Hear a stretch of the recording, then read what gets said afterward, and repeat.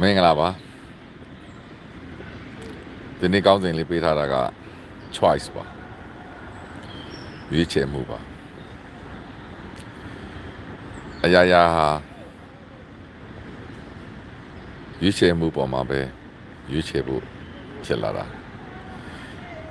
အဲ့တော့ရွေးချယ်မှုကိုကျွန်တော်တို့ကမှန်မှန်ကန်ကန်ချပြနိုင်တယ်ဆိုရင်လူတွေကမှန်မှန်ကန်ကန်ရွေးချယ်ကြတာပဲ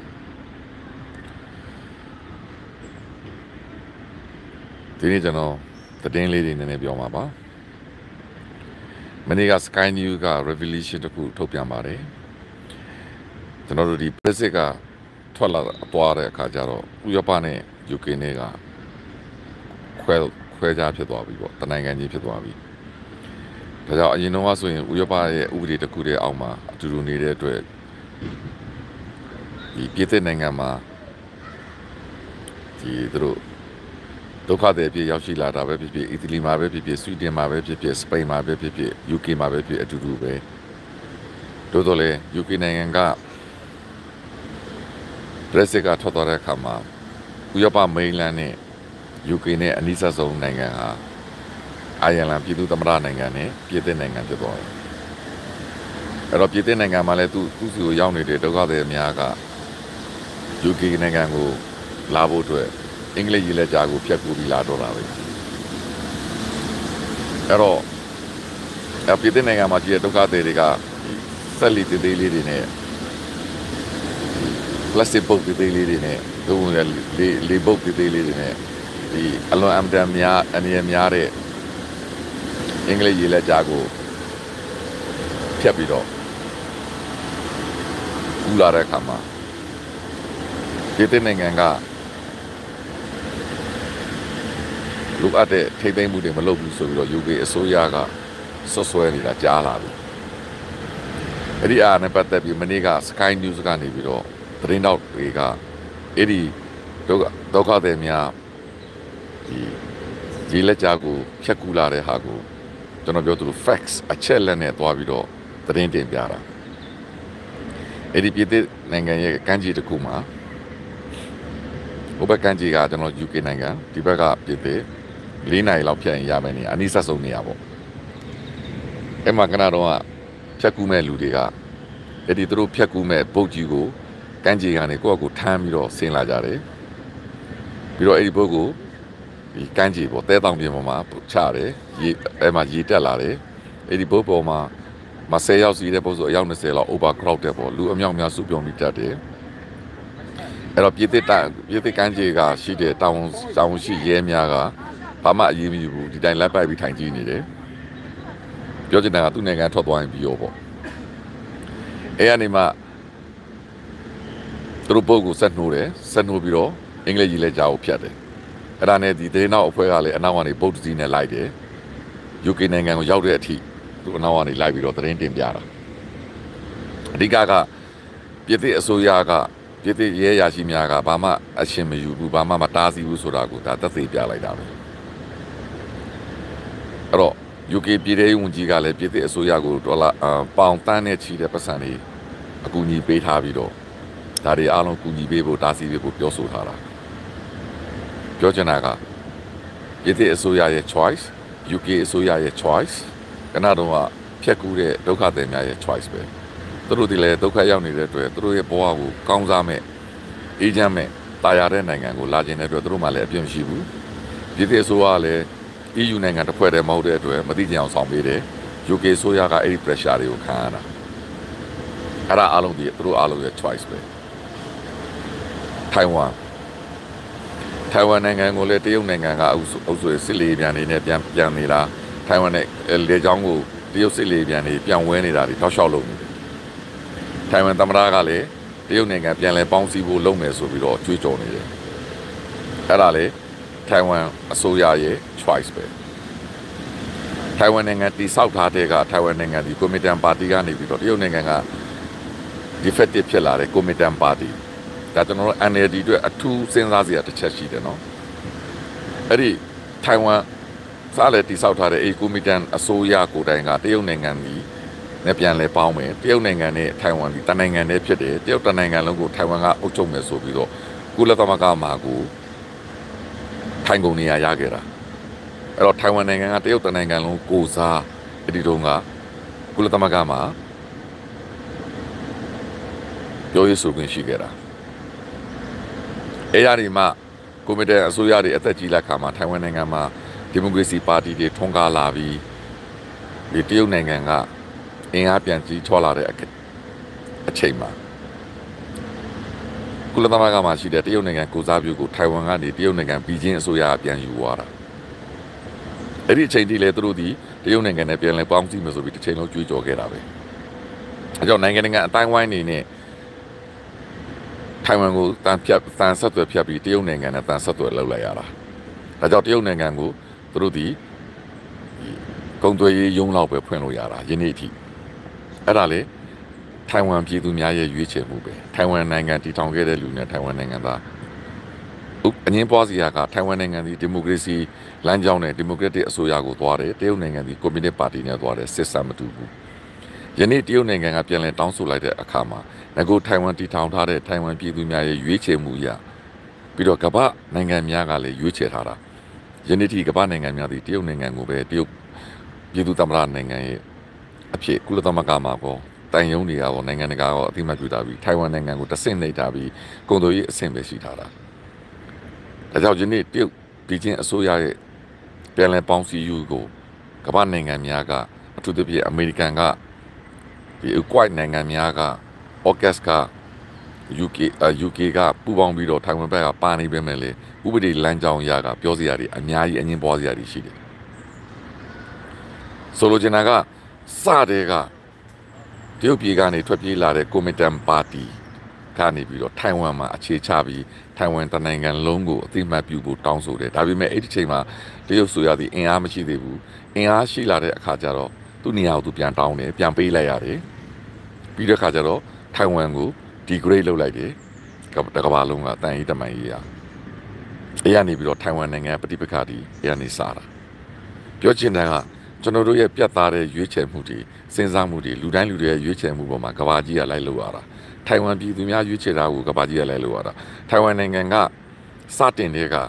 ထိုင်ဝမ်နိုင်ငံတိဆောက်တဲ့ကလွတ်လပ်သော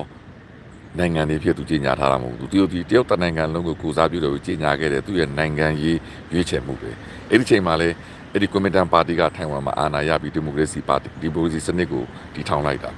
ပြီးမှ ထိုင်ဝမ် Independent Party တွေကအခုအာဏာတွေရလာပြီးထိုင်ဝမ်ကပေါင်းထွက်မယ်လွတ်လပ်ရေးပြောမယ်တရုတ်ပြည်ကလက်မခံဘူးဒီနိုင်ငံရေးအငင်းပွားမှုတွေဖြစ်နေတာ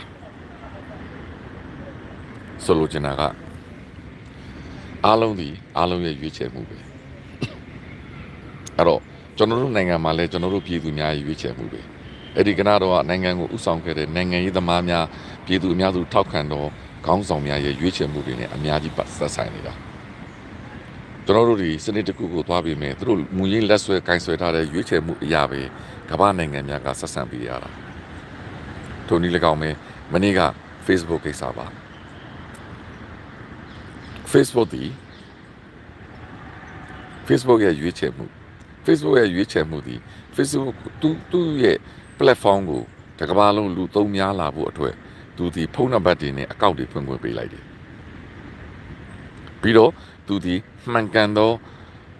identification လို့ခေါ်တော့ဗောတိတိကျကျမစစ်ဆေးပဲနဲ့ကြိုက်တဲ့နာမည်ကြိုက်တဲ့ဟာနဲ့အကောင့်တွေဖွင့်ခွင့်ပေးလိုက်တဲ့အခါမှာလူတွေကတာဝန်ယူမှုတာဝန်သိတတ်မှုမရှိပဲနာမည်အတုတွေအကောင့်အတုတွေဥပမာနာမည်တော့မဟုတ်တော့ဘူး identity တော့မဟုတ်တော့ဘဲနဲ့အမှတ်လက္ခဏာတစ်ခုနဲ့အမှတီဆိုတီပေါ့ရေးချင်တာရေးပြီးတော့အကောက်ဖွင့်လို့ရတယ်ပြောချင်တာကသူ့ platform မှာဖွင့်လာတဲ့အကောက်ပိုင်ရှင်များဟာ သူကိုယ်တိုင်ကသူ့ရဲ့ identity ကျွန်တော်တို့ဆိုရင်ကကျွန်တော်နာမည်နဲ့ကျွန်တော်တက်ပုံနဲ့ကျွန်တော် identity ကိုကျွန်တော် revelation ကျွန်တော်ဆိုတာဘာသူလို့ဆိုတာပြောထားတဲ့အတွက်ကျွန်တော် Facebook မှာရေးတဲ့အရာတုံးဒီကျွန်တော်တာဝန်ယူရတယ်အဲ့ဒါဒီလှိုင်ဝင်းပြောနေတာ UK နိုင်ငံမှာနေထိုင်နေလှိုင်ဝင်းပြောနေတာလူတိုင်းသိတယ်ခဏတော့အဲ့ဒါမျိုးကို Facebook ကတာဝန်ယူမှုမရှိဘဲနဲ့သူစီးပွားရေးအကျိုးအမြတ်အတွက်တကဘာလုံးမှာရှိတဲ့ဒီမိုစီစနစ်ကိုချိန်ချောက်ဖို့အတွက်ခဏတုန်းကလွတ်လပ်စွာပြောဆိုခွင့် freedom of expression ကို manipulation ပေါ့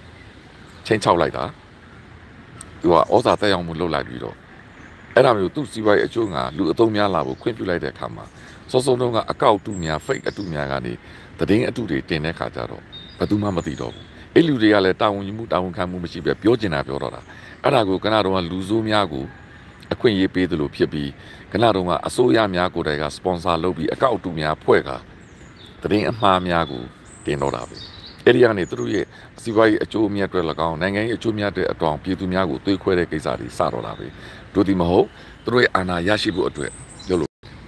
အဲ့ဒီချိန်မှာအမှန်တရားကိစ္စရဲ့တစ်ခုကတဲ့အလိန်တစ်ခုအတုတစ်ခုကတန်းနဲ့ချီပြီးပြောလာတဲ့အခါမှာအကျဉ်းကြီးတန်းနဲ့ချီပြီးပြောလာတဲ့အခါကျရင်အမှန်တရားဖြစ်သွားပြီးအဲ့ဒါဒီအချက်လက်ဖြစ်သွားတာအဲ့ဒီစကားကိုပြောဆိုခဲ့တော့ဖိလစ်ပိုင်က journalism ကိုမနေ့က Nobel ငြိမ်းချမ်းဆုပေးလိုက်တာပြောချင်တာကကျွန်တော်မြန်မာနိုင်ငံမှာရင်ဆိုင်ခဲ့ရတဲ့အတိုင်းပဲဖိလစ်ပိုင်နိုင်ငံမှာလေအစိုးရကစပွန်ဆာလုပ်ထားတဲ့ဒီ organization တခုက sponsor လာတဲ့အကောက်အတုများနဲ့သူတို့လိုချင်တဲ့သတင်းအတုများကိုဖန်တီးပြီးအမှန်တရားကိုဖော်ထုတ်နေကြသောသူများကိုတိုက်ခိုက်ပြီးကျွန်တော်တို့ရဲ့လွတ်လပ်တဲ့ဒီမိုကရေစီလွတ်လပ်တဲ့ဒီမိုကရေစီရဲ့အခြေခံများကိုတိုက်ခိုက်လာတာကိုသူက Facebook ရဲ့ဒီထောင်သူမဆာဇူကာဘတ်နဲ့ကိုမျက်နှာချင်းဆိုင်တွေ့ပြီးပြောပြီးပြောပြီးဒါပေမဲ့ဇူကာဘတ်က line မခံခဲ့ဘူးအဲ့ဒါကလွန်ခဲ့တဲ့၄နှစ်တည်းကဖြစ်တာအဲ့ဒီကမ္ဘာကနိုဘယ်ဆုရလာတဲ့ဒီဖိလစ်ပင်က journalist တွေအရင်က CNN သတင်းတောက်ပါ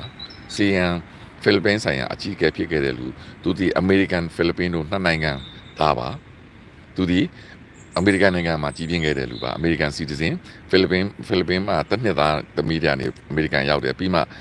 သူဒီ Princeton University ကမ္ဘာအကောင်းဆုံး University မှာပွဲရပြီးမှဖိလစ်ပင်းနိုင်ငံမှာပြန်လာအခြေချပြီးမီဒီယာလုပ်ငန်းနဲ့အသက်မွေးကြောင်းလုပ်ပြီး CN သတင်းဌာနမှာ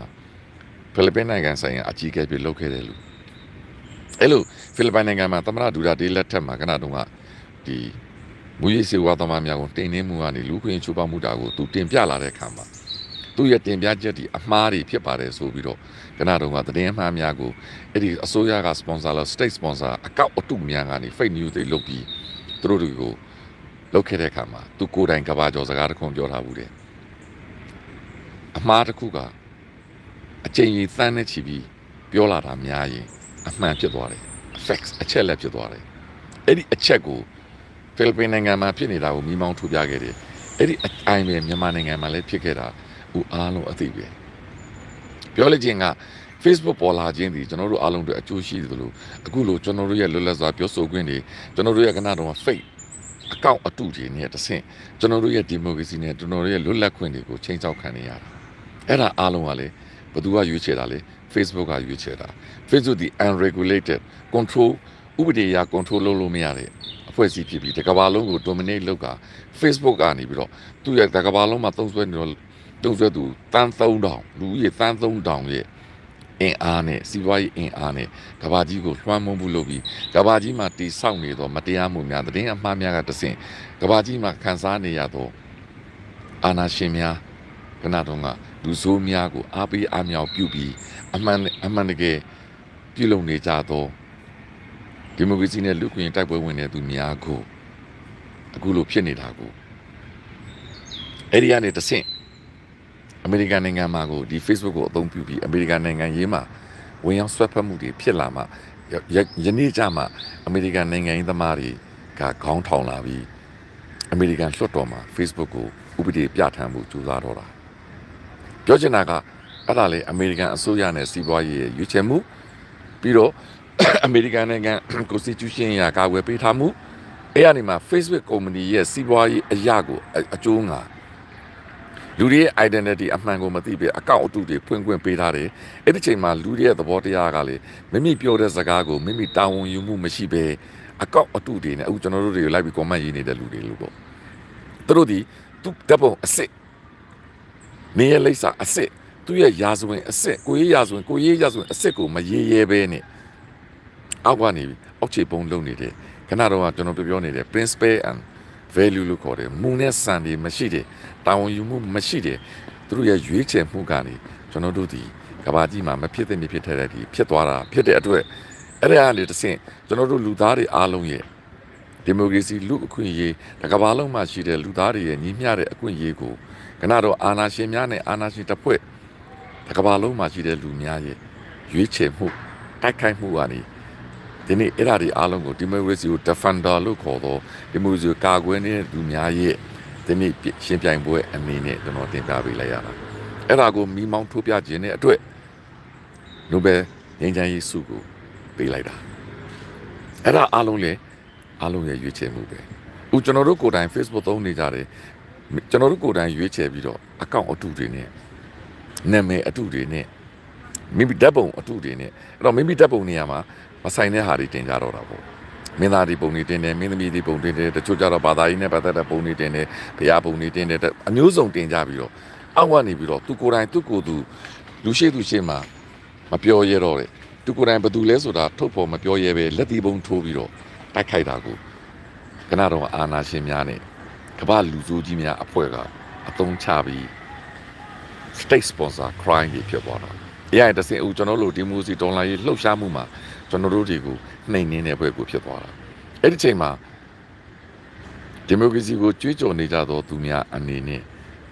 အားလုံးရွေးချယ်မှုပဲ။ပြောချင်တာကထိုင်ဝမ်နိုင်ငံကထိုင်ဝမ်ကရွေးချယ်ထားတာ။ထိုင်ဝမ်ပြည်သူတွေကကိုနိုင်ငံရေးသမားတွေကကိုတရုတ်နိုင်ငံနဲ့ပူးပေါင်းမလို့သူတို့ရွေးချယ်ခဲ့တာ။သူတို့ငကိုတည်းကလွတ်လပ်သောနိုင်ငံပြည်ကြီးညာထားတာမဟုတ်ဘူး။ဒါကြောင့်သူတို့ကရွေးချယ်လာတဲ့ကဘာကြီးကလည်းသူတို့ကိုလွတ်လပ်တဲ့နိုင်ငံအဖြစ်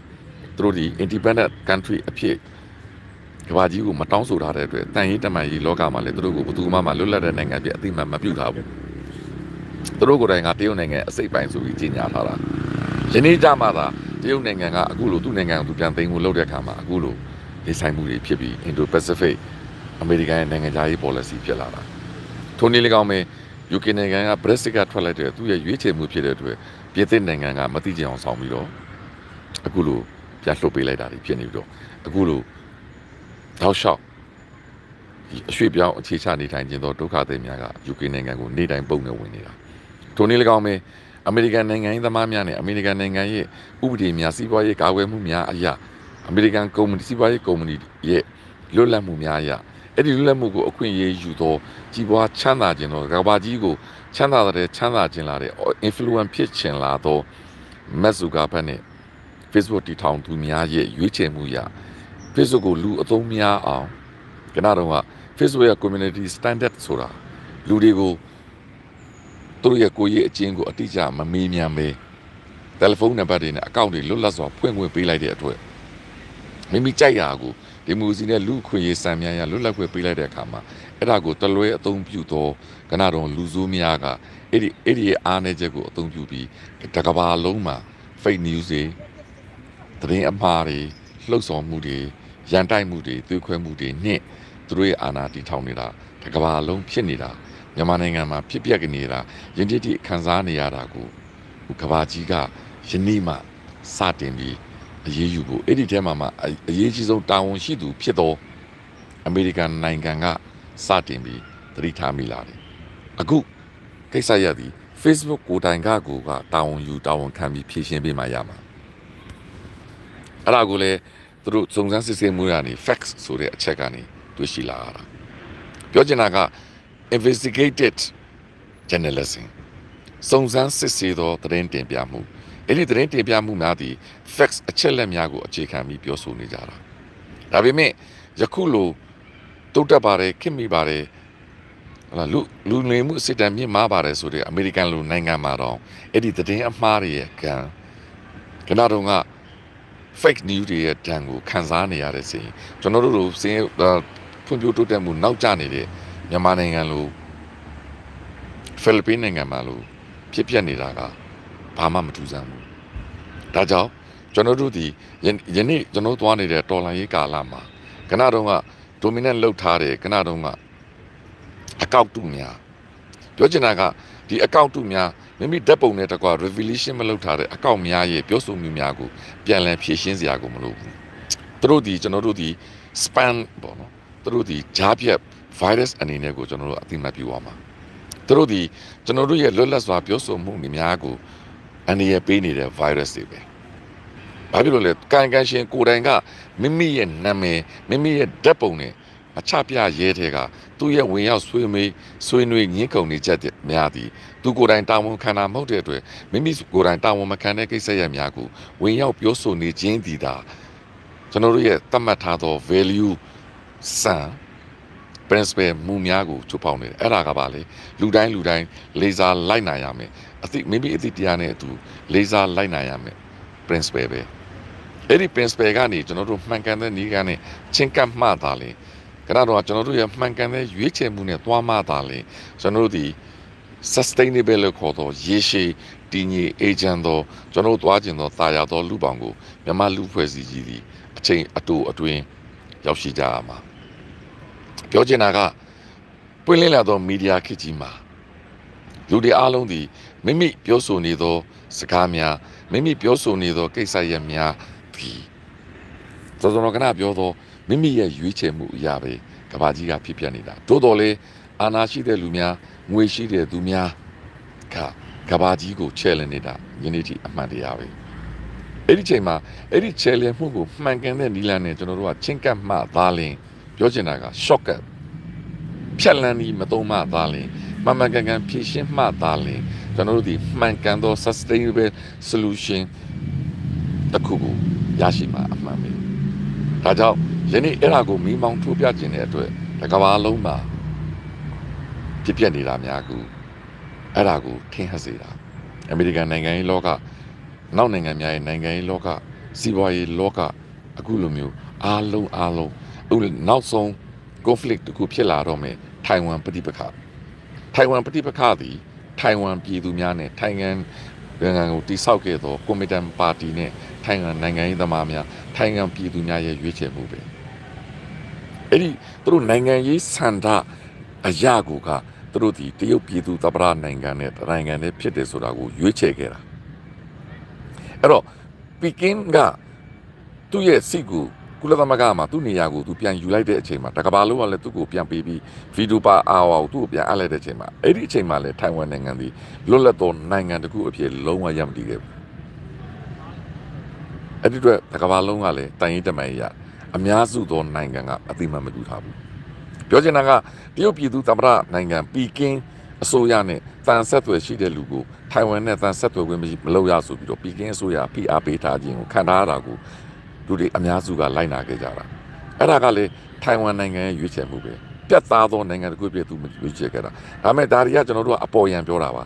ဒါပေမဲ့တေချာတစ်ခုကအားလုံးဒီမိမိရဲ့ရွေးချယ်မှုပဲဒါကြောင့်လေကျွန်တော်တို့လေကျွန်တော်တို့သွားတဲ့လမ်းကြောင်းမှာကျွန်တော်တို့ရဲ့ရွေးချယ်မှုပဲ ကျွန်တော်တို့ကိုယ်တိုင်ကပြက်ပြက်သားသားရွေးချယ်မှုရှိကိုရှိရမှာကျွန်တော်တို့ကိုယ်တိုင်က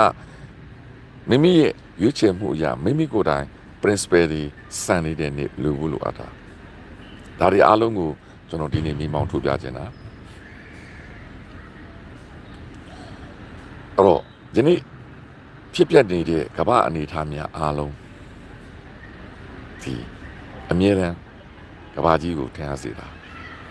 ပြောချင်တာက ကျွန်တော်လူသားများဒီနိုင်ငံတိုင်းမှာလူသားဖြစ်တဲ့အတွက်အားလုံးအတူတူပါပဲအဲ့ဒီထဲမှာမှအရေးအကြီးဆုံး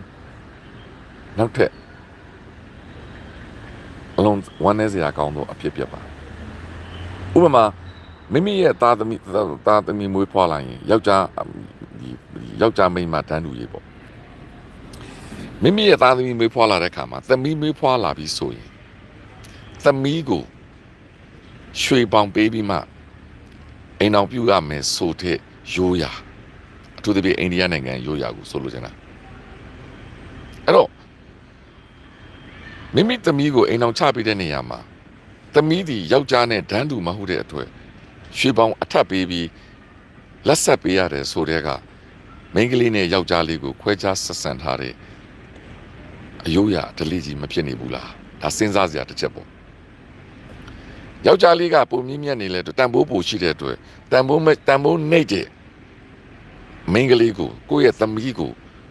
ယောက်ျားလေးနဲ့လက်ဆက်ဖို့ပြုလုပ်ပေးတဲ့နေရာမှာဒေါ်ရီလို့ခေါ်တော့မဟာရွှေပေါ့အဲ့ဒါကိုပေးရတယ်ဆိုတဲ့ကဒါဒီယောက်ျားလေးနဲ့မိန်းကလေးဒန်းတူဆိုတဲ့ခွဲခြားဆက်ဆံမှုရှုတော့ပါကြည့်ရင်ဒါဒီကျွန်တော်တို့ပြောပြောနေတဲ့ကဘာကြီးမှာ မတရားမှုတွေမညီမျှမှုတွေခွဲခြားဆက်ဆံမှုတွေရှိနေတဲ့ဆိုတဲ့ရှုတော့ကိုကျွန်တော်တင်ပြခြင်းလားဒါကလည်းကျွန်တော်စကားမဟုတ်ပါဘူး UK နိုင်ငံမှာရောက်နေတဲ့အိန္ဒိယနိုင်ငံသားကသူ့သမီးတယောက်မွေးတဲ့အချိန်မှာသူကိုယ်တိုင်ကပြောတာသူအဲ့ဒီအဲ့ဒီရဲ့ delay ကိုလုံးဝလက်မခံပါဘူးတဲ့ဒါကြောင့်သူဒီ UK နိုင်ငံမှာပဲသူကြီးပြင်းမှစူးစမ်းမယ်သူသမီးကိုလည်း UK နိုင်ငံမှာပဲပြုစုပြောထောင်ဖို့စူးစမ်းမယ် ဒါဆိုရင်သူသမီးအရွယ်ရောက်လာတဲ့အခါမှာသူဒီသူသမီးအတွက်ရွှေစုဆောင်စရာမလိုဘူး UK နိုင်ငံမှာယောက်ျားမိန်းကလေးဒီဒန်းတူဖြစ်တဲ့အတွက်အဲ့ဒီကနတော့ကမဟာရွှေတင်ပေးရတဲ့ကိစ္စဒီဥပဒေအရတရားမဝင်ဘူးသတ်မှတ်ထားပါတယ်အိန္ဒိယနိုင်ငံမှာလည်းဥပဒေအရတရားမဝင်ဘူးဆိုတာသတ်မှတ်ထားပြီးသားပါသို့တော်လည်း traditional အရာရိုးရာအရာကိုပြည်သူတွေကလိုက်နာနေကြတယ်အဲ့ဒီရိုးရာရလိုက်နာမှုဒီ မိမိကိုယ်တိုင်ရဲ့ရွေးချယ်မှုဖြစ်တဲ့အတွက်မိမိရဲ့သမီးကိုမိမိရဲ့ female ဆိုတဲ့ဂျာမခွဲခြားဆက်ဆံလိုက်တဲ့ဆိုတဲ့ရှုထောက်ကနေစဉ်းစားတဲ့အခါမှာဥပဒေအရာကိုကတားထားတာပါသို့တော်လည်းပြည်သူများကအဲ့ဒါကိုရွေးချယ်ပြီးအိန္ဒိယနိုင်ငံမှာလည်းဥပဒေအရာတားထားတယ် UK နိုင်ငံမှာလည်းတားထားတယ်ဒါပေမဲ့ UK နိုင်ငံမှာကတော့ဘယ်သူမှအဲ့ဒါကိုလက်မခံဘူးဒါပေမဲ့အိန္ဒိယနိုင်ငံမှာသုံးနေတော့မယ် အဲ့တော့ကျွန်တော်တို့ကတော့စဉ်းစားတွေရွေးချယ်မှုတွေအားလုံးဒီကိုကိုတိုင်ကရွေးချယ်နေကြတာဒီရိုးရာရင်ကျေးမှုဖြစ်တဲ့သမီးမင်းကလေးမွေးထားရင်ဖခင်ပြည်သူကရွှေစုရမယ်ပြီးတော့သမီးကိုလက်ဆက်ပြီးဖို့အချိန်ကြာရင်အိမ်တော်ပြုတ်ပြီးတဲ့အချိန်မှာရွှေပေးရမယ်ဆိုတဲ့သမီးရှင်ကရွှေပေးရမယ်ဆိုတဲ့အယူဝါဒဒီကိုသမီးကိုမင်းကလေးကိုယောက်ျားလေးနဲ့ဒန်းတူမဟုတ်ဘူးတဆင့်နေပုံစံနဲ့ခွဲခြားဆက်ဆံလိုက်တယ်ဆိုတဲ့ရှုထောက်ကနေပြီးတော့စဉ်းစားကြရင်ရော ဘယ်လိုဖြစ်မလဲဆိုတာကိုကျွန်တော်ကနည်းနည်းမိမောင်းထုတ်ပြလိုက်တာဒါကျွန်တော်ရဲ့မိမောင်းထုတ်ပြခြင်းမှန်တယ်မှားတယ်ကျွန်တော်မပြောပါဘူးဆိုလိုချင်တာကကျွန်တော်ပြောချင်တဲ့အားလုံးဒီလူတိုင်းရဲ့ရွေးချယ်မှုပါဂျာမတန်းတူတဲ့နေရာမှာသမီးမင်းကလေးကိုရွှေပောင်ပေးပြီးမှလက်ထပ်ပေးရတယ်ဆိုတဲ့ကဂျာမခွဲခြားခြင်းဖြစ်တယ်ဆိုတဲ့ကျွန်တော်ရဲ့အဆိုတစ်ခုပေါ့အဲ့ဒါလေးအားလုံးကိုကျွန်တော်ကနကဒီနေ့ ရွေးချယ်မှု choice ခေါင်းစဉ်ကနေတင်ပြပေးလိုက်ရပါတယ်ကျွန်တော်တို့ဒီမှန်ကန်သောရွေးချယ်မှုနဲ့ကျွန်တော်နိုင်ငံကိုကြီးတက်နေတာဖြစ်တဲ့အတွက်ကျွန်တော်နိုင်ငံဒီကျွန်တော်ပြည်သူတွေအားလုံးကမှန်မှန်ကန်ကန်ကနတော့ NLD ပါတီကောရှိသမျှပါတီအားလုံးခေါင်းဆောင်များအားလုံးမှန်ကန်တဲ့ရွေးချယ်မှုနဲ့မှန်ကန်တဲ့အနာဂတ်ကိုမှန်မှန်ကန်ကန် facts အချက်လက်ကိုအခြေခံပြီးစိတ်ပံကိုအခြေခံပြီးသတင်းတုသတင်းမှားမှားကိုအခြေခံအခြေမခံဘဲ မှန်မှန်ကန်ကန်စုပေါင်းရွေးချယ်မယ်ဆိုရင်ကျွန်တော်လူချင်းနဲ့တာယာသောလူပေါင်းကိုရောက်ကိုရောက်ရမယ်နိုင်ကိုနိုင်ရမယ်လို့ပြောကြလို့ရင်အရေးတော်ကိုနိုင်ရမယ်အားလုံးပဲပါ